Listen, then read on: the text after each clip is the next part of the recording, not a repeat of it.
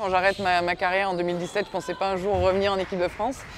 Je suis de retour, mais de l'autre côté de, voilà, du décor. Et moi, je suis encore joueuse aujourd'hui, je ne le serai plus dans quelques temps, mais j'ai joué avec ces joueuses-là. On ne peut pas effacer ça. Je ne peux pas juste redevenir, voilà, avoir qu'une casquette de manager général et, avoir ce rap. Au contraire, justement, je pense que le fait que j'ai été joueuse, que j'ai joué avec ces joueuses-là, que j'ai performé, que j'ai porté le maillot avec certaines d'entre elles, ça, doit amener de, de, la facilité dans les échanges, dans les relations. Et puis, euh, et puis mon expérience peut aussi bénéficier auprès des plus jeunes. Et je dois être un petit peu ce lien générationnel, relationnel et, voilà, c'est plutôt... Euh, ouais, il n'y a que des retours positifs en tout cas. Je sais que j'étais un petit peu tristinette quand elle est partie. Elle m'a payé pour dire ça.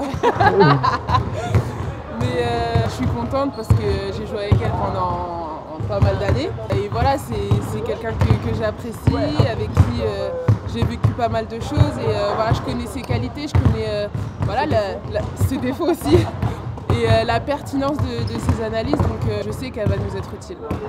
C'est vrai que c'est un, peu, euh, un peu bizarre, c'est un peu étrange parce que là elle est passée de l'autre côté chez, chez, les adultes, chez les grands. Chez les vieux Chez les vieux, voilà, je n'osais pas le dire. Mais euh, c'est un plaisir pour tout le monde qu'elle soit là. Je pense qu'elle va, qu va pouvoir nous aider, euh, distiller ses, ses, petits conseils et, euh, et voilà, avoir ce, bah justement cette vue de, de l'extérieur euh, sur quelque chose qu'elle connaît bien parce qu'elle joue encore et parce qu'elle a été en équipe de France il n'y a pas si longtemps.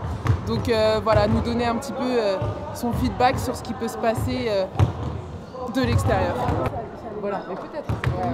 Avoir une personne comme ça dans le staff, ça peut apporter que du plus, surtout personnellement pour une meneuse de jeu, si elle est là et qu'en plus elle peut nous apporter des conseils, ben, c'est que du plus pour nous. Franchement, on ne peut pas avoir meilleur conseil qu'une ancienne joueuse inconsciemment, on va un petit peu lui montrer que nous aussi on est là et qu'on peut faire quelque chose de bien. J'ai joué contre elle, mais j'ai jamais eu l'occasion d'échanger avec elle euh, extra basket par exemple. Donc euh, je la connais pas forcément, mais elle a l'air cool.